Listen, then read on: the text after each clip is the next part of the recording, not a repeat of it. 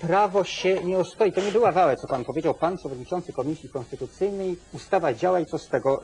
Też niedawno, tydzień temu występował w tej e, stacji pan e, senator Andrzejewski i powiedział bardzo wyraźnie, prawo musi być respektowane. Jeżeli jest ustawa z 82, to oni na przykład nie głosowali za odrzuceniem e, waszej ustawy właśnie dlatego, żeby nie było takiej sytuacji, że pan lekceważy istniejące prawo. Ja nie lekceważę, proszę pana. Ja uważam, prawo jest prawem, prawo musi działać, tylko że prawo źle zapisane, czy prawo po prostu nie może zadziałać. Wie pan, to yy, no cóż z tego, że istnieje, istniało przez wiele lat prawo y, do pracy, czy nawet w niektórych konstytucjach jest ono zapisane i to także na zachodzie Europy, kiedy jest bezrobocie. No i co z tego? Czy to nie znaczy, że prawo nie znaczy prawo, tylko że prawo jest przecież w jakiejś części do zrealizowania w konkretnych warunkach.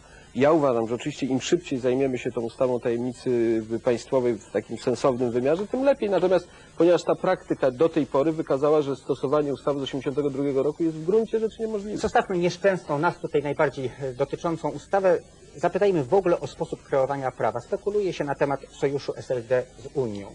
Czy taki sojusz pańskim zdaniem jest możliwy? Czy istnieje możliwość stworzenia takiego gremium, takiego mm, środowiska nacisku, które właśnie przeforsuje przez Sejm te ustawy, które powinny zostać w końcu wprowadzone i których nam wszystkim tak bardzo brakuje?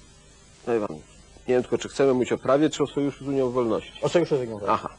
E, Bo jeśli można jeszcze, sprawnym e, sojuszu tak, z Unią bo Wolności. jeżeli można mówić o, sprawnym tak, jeśli chodzi o s- współpracę z Unią Wolności, to ja myślę, że na szczeblach lokalnych ona okazała się konieczna, ponieważ polska scena polityczna wygląda w ten sposób, że PSL jest partią silną, ale głównie w środowiskach wiejskich i dzięki głosom ze wsi również na szczeblu centralnym, ale ma potężną lukę w miastach i dużych miastach. Tam w gruncie rzeczy istnieją trzy ugrupowania. My, Unia Wolności pośrodku i Prawica. W związku z tym to, co się stało w różnych miastach, to znaczy zarządy budowane przez koalicję SLD Unia Wolności, po prostu było jedynie rozsądnym rozwiązaniem. Te zarządy mają większość, ta większość wynika z głosów wyborców, takie sojusze powstały.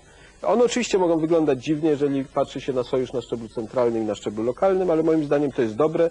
Jeżeli z tej współpracy będą wynikać pozytywy, to wierzę, że może się to w jakiejś perspektywie również przekładać na ten układ centralny. Dzisiaj według mnie ani Unia Wolności, ani Sojusz Lewicy Demokratycznej do tego rodzaju sojuszu A nie ja są gotowi. zapytałem o prawo właśnie dlatego, że chciałem wiedzieć, jeżeli sojusz z taką partią jak Unia Wolności, to po co?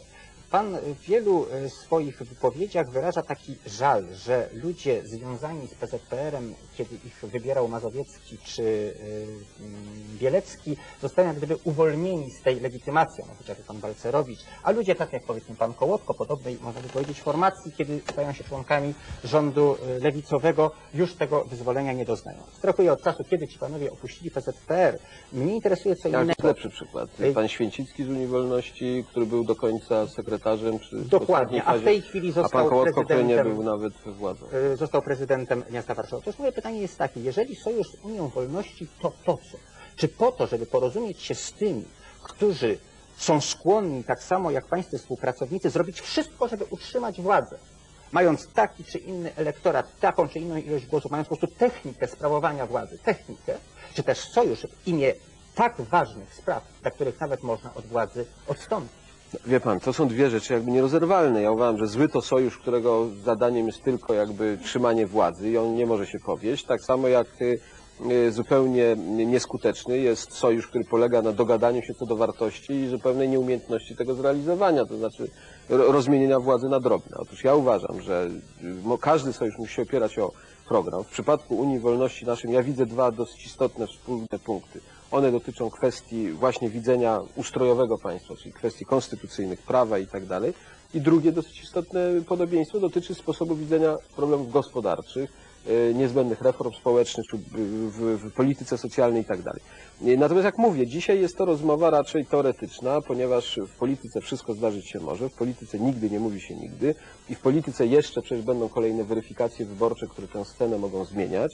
Natomiast niewątpliwie to, co jest największą słabością polskiej sceny politycznej i co bardzo dobrze widać w układach SLD Unia Wolności, to fakt, że my nie potrafimy wyzwolić się z historii. Że historia, przeszłość odgrywa ciągle istotną rolę. Że zawsze jest ten argument, a ci to byli w PZPR-ze, a ci byli w anty-PZPR-ze. No i to, Dobre jest, są- to jest zrozumiałe do pewnego stopnia, tylko pamiętajmy, że czas leci. Dobre są konsensusy wokół osób, właśnie wokół Marcina Święcickiego taki konsensus się dokonał. Moje pytanie, czy pan uważa, że byłby pan osobą, wokół której taki konsensus mógłby się dokonać. Gdyby doszło do e, wyborów prezydenckich, jest pan bardzo wysoko w rankingach, czy uważa pan, że dla dobra sprawy lepszym byłby kandydatem pan, czy na przykład Jacek Kuroń? Czy z kolei pańska e, partia, pańska grupa byłaby skłonna taką osobę konsensusu poprzeć? Proszę pana, to ponieważ ten program ma być trochę pół żartem, pół serio, to ja sobie pozwolę rozluźnić nieco atmosferę, bo po pierwsze ja panu na to pytanie w ogóle nie odpowiem, bo myśmy się umówili, że w sprawach wyborów prezydenckich będziemy rozmawiać nie wcześniej niż na początku przyszłego roku. Po drugie, ja myślę, że y, w ogóle jest ważne szukanie kandydatów, którzy będą mieli y, szersze zaplecze, aniżeli tylko jednopartyjne. A po trzecie, ja rozumiem, że można różnie jakby zgłaszać swoją kandydaturę. Jacek Kuroń krąży po Stanach Zjednoczonych w garniturze, w krawacie, wzbudzając tym ogromną sensację. Ja się zastanawiałem, czy dziś do programu nie przyjść w dżinsach i, i dżinsowej koszuli, ponieważ być może byłoby to zgłoszenie jakby mojej gotowości do bycia kandydatem ponad podziałami. Ale e, myślę, że to o wszystkim dzisiaj jest za wcześnie rozmawiać, dlatego że e, bardzo wiele będzie zależało od e, układu sił, od sytuacji bieżącej w kraju. Ja bym chciał, Pan wspomniał też o tym prawie i tu jedno słowo muszę powiedzieć. Jestem przewodniczącym Komisji Konstytucyjnej i wydaje mi się, że może być bardzo istotne także dla i tworzenia prawa w Polsce, a także jakby trochę przejścia nad tymi podziałami z przeszłości i budowania nowego e, układu, praca nad konstytucją. Gdyby się udało szeroki zakres e, porozumienia znaleźć dla konstytucji przygotowanej przez Zgromadzenie Narodowe, to może być ważny fakt polityczny. Wrócimy do A to konstytucji. będzie przed wyborami. To będzie przed wyborami. Zanim skrzyżują słowa sekundanci, poproszę je o jeszcze głos dla publiczności. O, o publiczności, proszę o pytanie. Marta Jarosińska. Chciałam takie właśnie ogólne pytanie polityczne, które chyba interesowałoby przeciętnego Polaka zadać. Mianowicie na temat y, sytuacji, pozycji lewicy na właśnie polskiej scenie politycznej. I nawiązując wcześniej do pytania o transformację, konkretnie o kierunek transformacji. Jaki właśnie, w jakim kierunku zachodzą te przekształcenia? To jest pytanie takie właśnie z typu, zadam pytanie, proszę o krótką odpowiedź. Otóż yy, krótka odpowiedź może być taka. Ja uważam, że w ogóle dywagowanie o pozycjach yy, partii w systemie demokratycznym musi się opierać o konkrety. Te konkrety w wyborach 93 roku wyglądały tak. Myśmy wybory wygrali 20,5% głosów. Unia Pracy, która niewątpliwie ma lewicowy program, yy, otrzymała tych głosów bodajże ponad 7%. To oznacza mniej więcej 27,5% poparcia. Gdyby założyć, że na Unię Wolności, wtedy Unię Demokratyczną też głosuje parę procent ludzi o lewicowych poglądach, to jest około 30%. Wszystkie kolejne badania opinii publicznej pokazują, że zaplecze dla myślenia lewicowego, socjaldemokratycznego w Polsce jest na poziomie 30-35%. Tak to trzeba ocenić. E, Jeśli chodzi o te główne elementy transformacji, myślę, że są trzy sprawy, które są dla nas najważniejsze i które e, staram się realizować. I tu właśnie dlatego e, staram się szukać miejsca, jak pogodzić obietnice wyborcze, oczekiwania społeczne z tymi filarami procesu, jaki w Polsce się odbywa, e, jest odpowiedzią na wątpliwość pana Czabańskiego. Te trzy główne elementy najkrócej to jest demokracja. My musimy instytucje demokratyczne i samą demokrację w Polsce umacniać. I tu konstytucja odgrywa kluczową rolę. Po pięciu latach myślę, ona jest niezbędna, żeby stworzyć ramę dla tych procesów demokratycznych, które w Polsce się dzieją.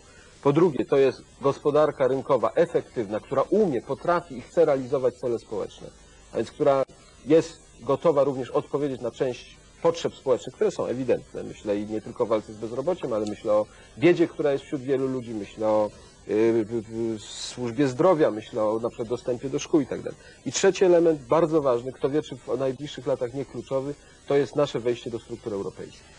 To jest ten moment, w którym możemy albo wygrać tę szansę, wejście do Unii Europejskiej, do systemu bezpieczeństwa europejskiego, albo przegrać. I to są te główne elementy transformacji, które chcemy realizować.